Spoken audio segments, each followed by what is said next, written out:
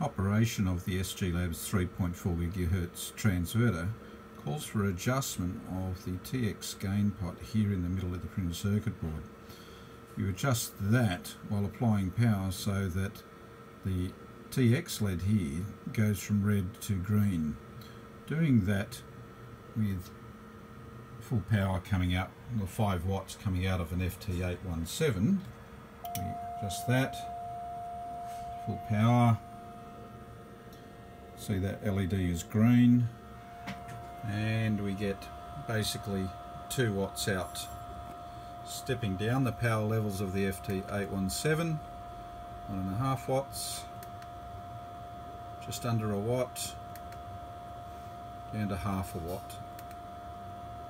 And then back to full power. So while the transverter can put out uh, more than a couple of watts, uh, adjusting it as per the instructions, limit it to 2 watts.